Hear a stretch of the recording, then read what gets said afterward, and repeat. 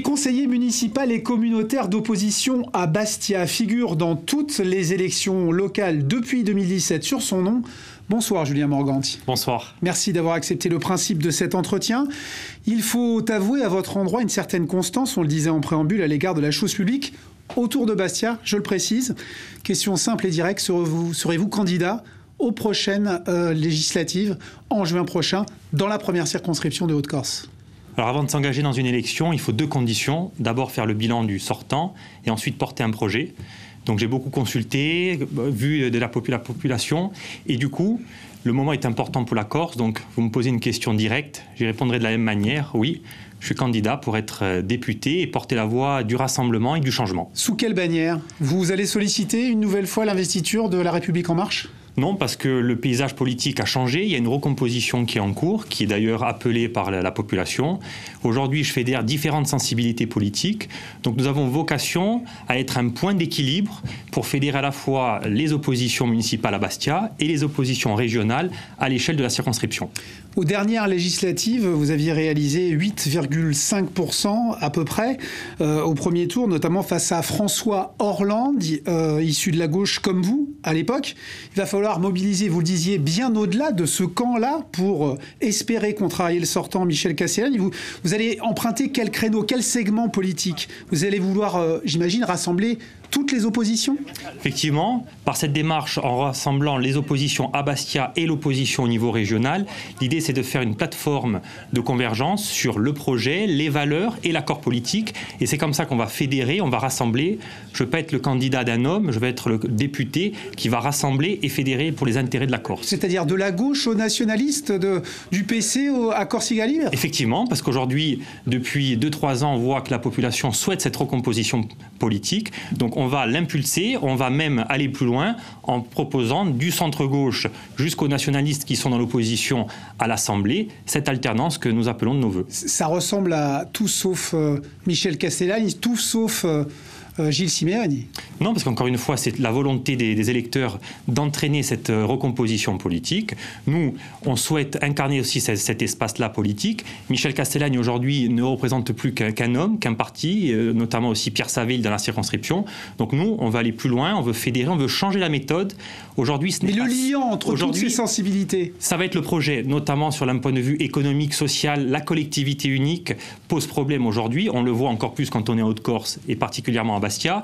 Donc c'est aussi sur le contenu, sur la manière d'aborder les choses.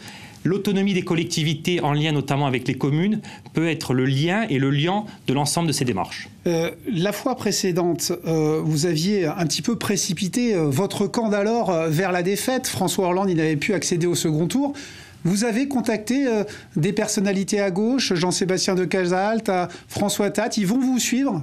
Aujourd'hui, ce qui est important, c'est d'expliquer la démarche, de la rendre publique. C'est pour ça que j'ai voulu assez tôt me déclarer candidat ce soir, pour expliquer auprès de la population et à travers cette plateforme de convergence, participer au rassemblement. C'est une main tendue aux oppositions bastiaises et à l'opposition régionale. À, l'heure actuelle, vous n'avez pas de soutien à gauche. À droite, vous en avez.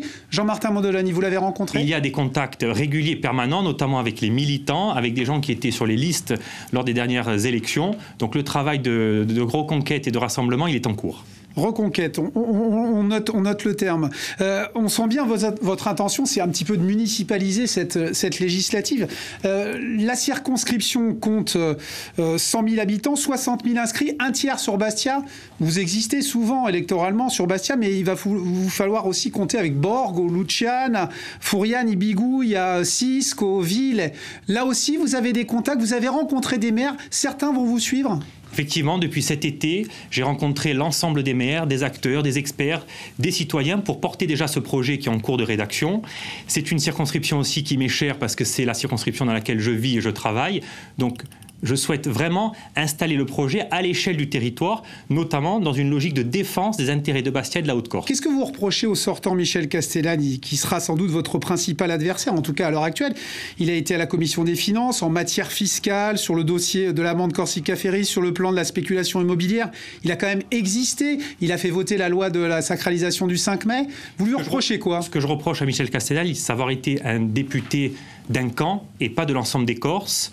Il y a eu aussi une forme d'isolement parisien, il n'a plus de mandats locaux, donc il y a une forme de, déconnexion des réalités.